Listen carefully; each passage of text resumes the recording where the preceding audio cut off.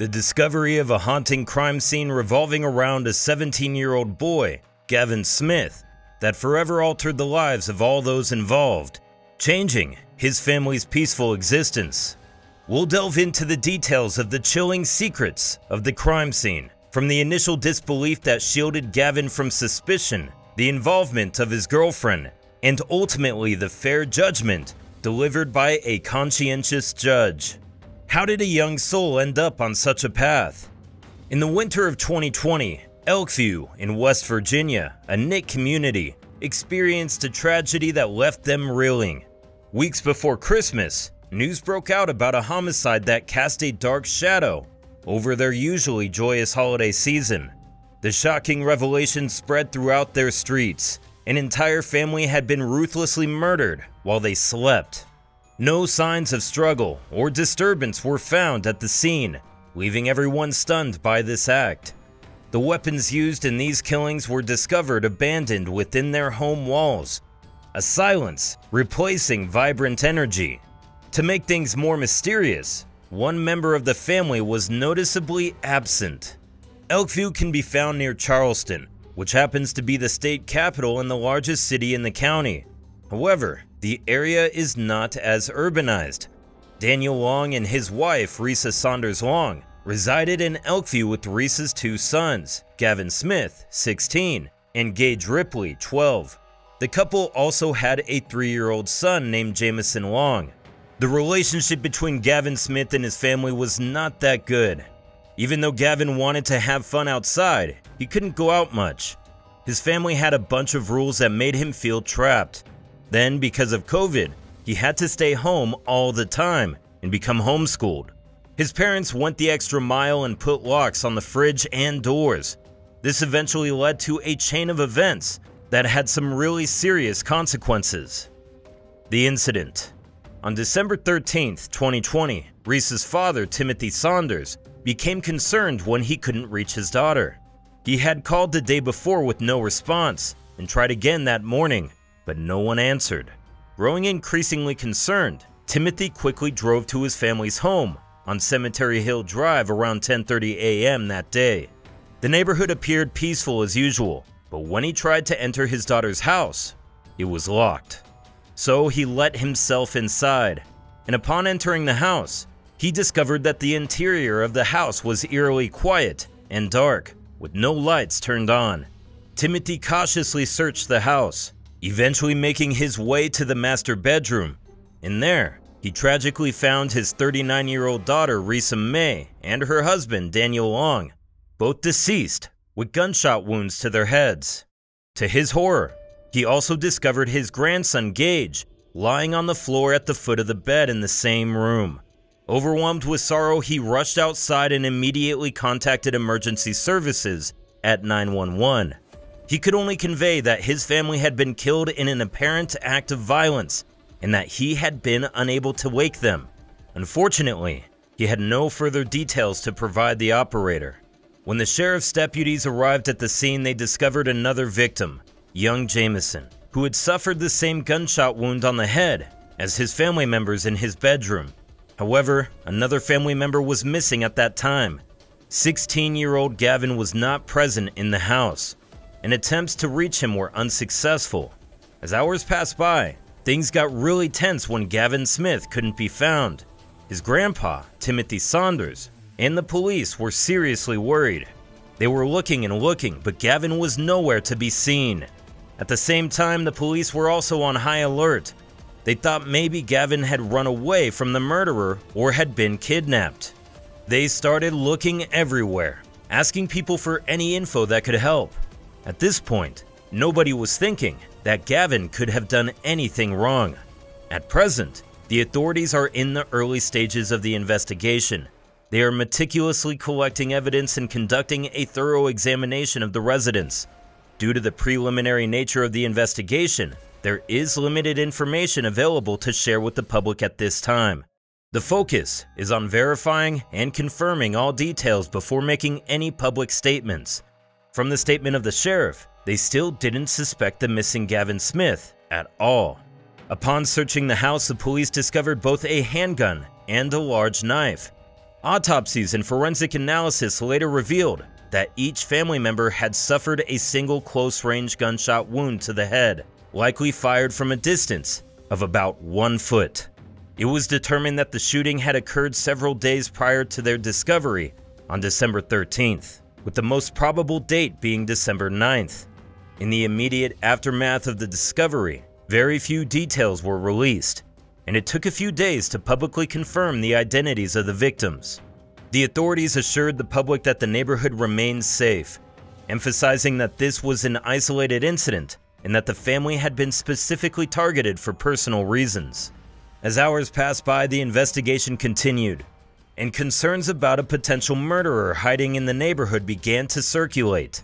Since it's a massacre of four people and one more person is still missing, during the investigation, they decided that ensuring the safety of 16-year-old Gavin Smith would become the top priority. Fortunately, or unfortunately for Gavin Smith, he was located rather quickly. On the same day that his family was tragically found murdered in their home, Gavin Smith was discovered in a house on River Road in Clendenin, approximately half an hour away from Cemetery Hill Drive. The house belonged to his girlfriend Rebecca Walker's grandmother, who happened to be away at the time. When deputies entered the house, they found Gavin hiding behind a chest of drawers in a bedroom on the third floor.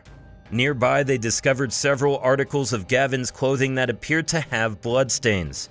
Subsequent testing confirmed that the blood matched that of Gavin's two younger brothers. Gavin's arrest.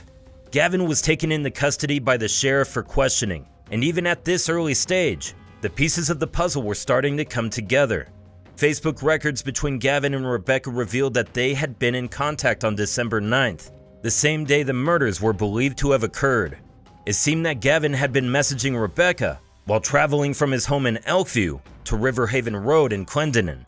The messages exchanged between the young couple left little doubt as to who was responsible for the horrific massacre on Cemetery Hill. Gavin admitted to Rebecca that he had killed his youngest brother. During the interrogation, Gavin went even further and provided a full confession. However, he later claimed that he was unaware that his confession would lead to his arrest. In connection to the murders, 17-year-old Rebecca Walker was also arrested. Her correspondence with Gavin exposed her involvement as an accomplice and an accessory to the crime. Here's how Rebecca got into this whole mess with Gavin. Gavin, feeling really messed up, jumped on his bike to go over to his girlfriend's house. While she was on the way, he texted her some really creepy messages, like he's a baby murderer now because he killed Jameson, and that he's currently crying. They stayed at Rebecca's house for a few days, trying to deal with what happened, probably freaking out a lot. However, things took a turn when the police arrived, searching for Gavin. Upon examining Gavin's phone, the authorities discovered evidence linking both Gavin and Rebecca to the crime, so now they were both in trouble with the law. A little background for Rebecca. In June of 2016, parts of Virginia faced one of the most severe floods in the history of the state. The Elk River in the county overflowed its banks, causing the water level to rise up to 5 feet in downtown areas. This event turned out to be one of the deadliest floods ever recorded in West Virginia, Rebecca Walker and her family were among those who suffered significant losses during the flood. They lost most, if not all, of their possessions, leaving them with very little in the aftermath of the disaster. After a thorough investigation, Sheriff Mike Rutherford announced an additional arrest related to the Elkview incident that took place on Sunday. He says that this case is different from our typical ones as it involves juveniles. Due to legal restrictions and the need to avoid potential complications in the future, they cannot provide as much information as they would with adult cases. Then they apologize for the limited details at this time. Based on Gavin Smith's confession, he spent several hours hiding in the woods before making his way to Rebecca's house. He stayed there, supposedly in hiding, for four days. Disturbingly, not only did Rebecca communicate with Gavin immediately after the murders occurred, but she also chose not to report the incident to the authorities or anyone else, despite being aware of what happened on Cemetery Hill. Adding to the gravity of the situation, phone records revealed that the young couple had engaged in video calls not only after the murders, but even while they were taking place. The trial. At first, Gavin was formally charged with four counts of first degree murder by a grand jury due to the severity of the crimes. Both Gavin's and Rebecca's cases were transferred to adult status in court. Finally, information began to be released to the public, and the local media in West Virginia caught a glimpse of the face of the young man who had confessed to killing his family.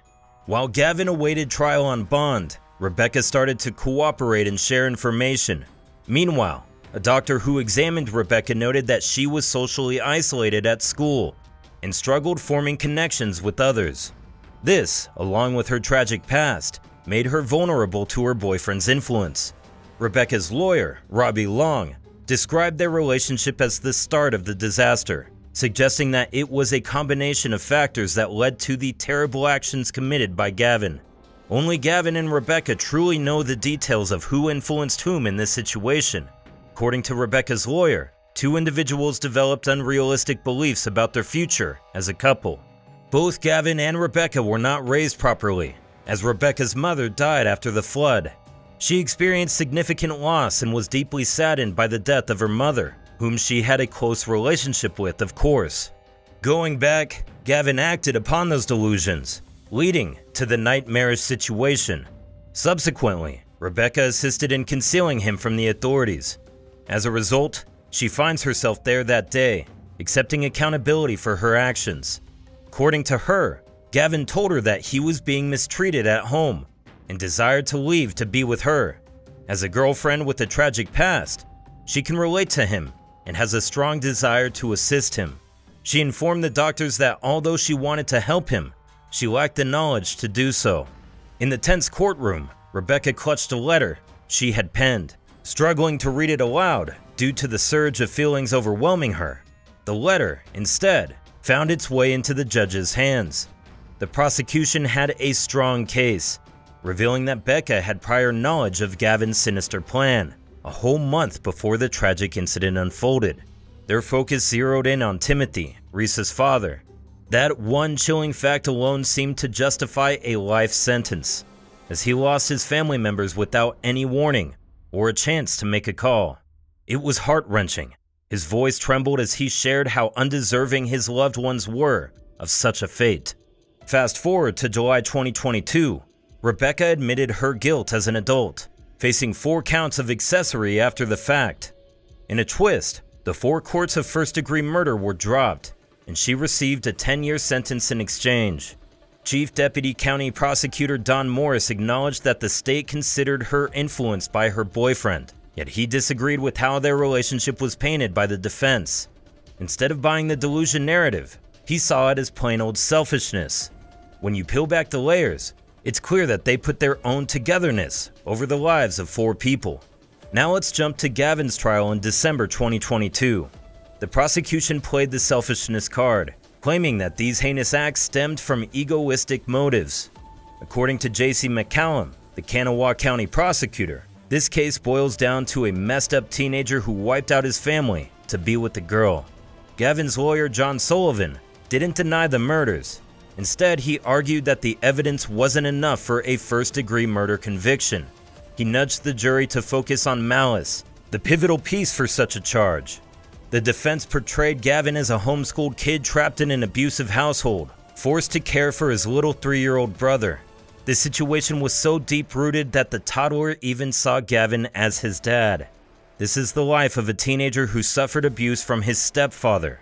He was not allowed to leave the house and had no access to food at home. Just from this, you can notice how hard life must be for the teenager Gavin Smith. During the trial, defense attorney John Sullivan informed the judge that they discovered instances where Gavin felt trapped in the house. For example, the family had put a padlock on the back door, which could only be opened from the inside. This was an unusual lock, as typically anyone can open a door from the inside to exit, but in this case, they had locked it from the outside. The statement of Deputy K.A. Cooper supports the claim that Gavin felt trapped. She states that there was a history of many runaways and the need to protect a specific individual. As a result, Child Protective Services had to be contacted. When she spoke with Gavin, he mentioned feeling overwhelmed because he was homeschooled and wanted to go to school. However, Gavin felt responsible for taking care of two-year-old Jameson, including feeding him and clothing him. Gavin also mentioned locks on cabinets, doors, and refrigerators. For a teenager, doing all these things instead of enjoying themselves together with his peers, Gavin felt like home was a prison. These details shed light on the various ways in which Gavin felt confined within his own home. Sullivan informed the jury about how food was locked up in the refrigerator and pantry. They presented photos from the crime scene showing padlocks on the refrigerator and cabinets to illustrate this point. They also provided evidence that Gavin had repeatedly tried to run away from home to escape the situation. There is also text message evidence that revealed Gavin's increasing anger towards the police for finding him and bringing him back home. During his testimony, Timothy Saunders told the jury that the food was sometimes locked up because the boys tended to overeat. The family was trying to make their limited food supply last throughout each month. Timothy also shared the heartbreaking moment when he entered his daughter's home to check on the family and found them in the bedroom. In the meantime, the most important witness, Rebecca Walker, testified against her ex-boyfriend Gavin. She revealed that Gavin's mother and stepfather were against their relationship and had restricted Gavin from seeing her. However, they continued their relationship secretly through some other means like social media. Then, Rebecca explained that Gavin didn't like being told what to do, including not being able to spend time with her, which was what they both wanted. This was the main reason for the events that unfolded. For Gavin, it's like the straw that broke the camel's back. Rebecca continued that in December 2020, her grandmother was going out of town. This presented an opportunity for her and Gavin to be together. She mentioned Gavin's anger over his failed attempts to escape from his family. When asked if Gavin talked about taking any action due to his anger, she stated that he talked about wanting to harm his family. Rebecca also acknowledged that this was a way for them to be together. On December 9th, the day the crime happened, Gavin and Rebecca were having a video call. During that time, Gavin was at his home, and he had a gun and a knife. Rebecca clarifies that she was not present at Gavin's house during this time. However, she was engaged in a video chat with him as the crime unfolded. Subsequently, she confesses to spurring him on by pushing for swift action in the murder of his entire family. When asked about her reasons, she clarifies that if Gavin eliminated his family, it would open up a chance for them to be together without hindrance in the future. At one point, the screen went black from Rebecca's end. When asked if she saw the gun during the video call, she confirms that she did, and that it was Gavin who held the gun and knife in his hand. Judge Ballard described the murders as an act of pure evil. Ballard addressed Gavin, stating that he committed a terrible crime by killing his entire family in a cold-blooded manner. Ballard stated that Gavin planned the murders well in advance for the selfish reason of spending time with his girlfriend. The investigators found that Risa Saunders Long and Daniel Long were shot in the head while they were asleep by Gavin, and he also killed his two brothers in the same manner, with the youngest brother hiding under his crib. Judge Ballard mentioned that Gavin displayed no remorse, referring to reports from probation officers who claimed that Gavin believed his actions were justified. During the December 2022 trial, Gavin's lawyers objected to the prosecution's request for the maximum sentence, arguing that Smith had been in jail since his arrest. They previously argued that Gavin's home was a high-pressure environment due to a combination of his family's strict rules and the closure of schools during the COVID pandemic. The adoptive parents of Daniel Long, along with other family members of the victims, strongly advocated for the most severe punishment. During the sentencing, Doug Long, the father, expressed his deep emotions about his deceased son and grandchildren. He shared with WSAZ TV that he never anticipated facing such turmoil in his life at this point. No one can predict what life brings, and the circumstances surrounding this terrible murder were beyond his imagination. He was completely unprepared for the immense sorrow and pain inflicted on him and his family by this incident. The trial was short, lasting only four days. Three days were dedicated to presenting witnesses, and one day was for jury deliberations. The defendant in question, Gavin Smith, made the decision not to testify in his own defense during the trial. Instead, his legal team relied on the testimony provided by the sheriff's department regarding his attempts to escape and presented photographic evidence of padlocks found within the house. These pieces of evidence were crucial in demonstrating that he was forcibly confined. In December, after careful deliberation, Gavin Smith was ultimately declared guilty of first degree murder for killing his mother, stepfather, and youngest brother. As a result of these reprehensible crimes, he received three life sentences. Furthermore, he was convicted of second degree murder for killing his brother and sentenced to 40 years behind bars. Additionally, an extra term of 10 years was given due to his use of a firearm during the commission of these crimes. However, there is some leniency allowed under West Virginia state law, as Gavin has the opportunity to apply for a pardon after serving 15 years into his sentence. Even though he was initially only 16, he went under trial as an adult at the time when these murders occurred, since this is allowed under West Virginia state law. Judge Kenneth Ballard stated that he only granted mercy because it was required by law. The jury agreed with prosecutors that Gavin killed his parents because they didn't want him to see his girlfriend. Evidence showed that Gavin and Rebecca Walker were on a video chat before, during, and after the murders. Rebecca claims she didn't see the murders because the screen went black. After killing his parents, Gavin rejoined the video call, but upon hearing his youngest brother crying, he went back to end his life too. Conversely, Rebecca faced accusations of aiding Gavin's concealment and confessed to being an accessory to the crime of first degree murder. She is currently serving a 10 year sentence. Meanwhile, Gavin is currently held at the South Central Regional Jail and Correctional Facility and will be transferred to a state prison. Rebecca is eligible for parole in June and is projected to be released on December 15, 2025. The perpetrator, driven by motives that were as complex as they were chilling, was apprehended and brought to account for his heinous actions. Not only did the conclusion of the investigation mark the end of a darker chapter in Elkview's history, but it also showcased the unwavering commitment of law enforcement. The tragedy that befell Elkview, West Virginia in the winter of 2020 serves as a reminder to us that life can be unpredictable and that we should cherish every moment.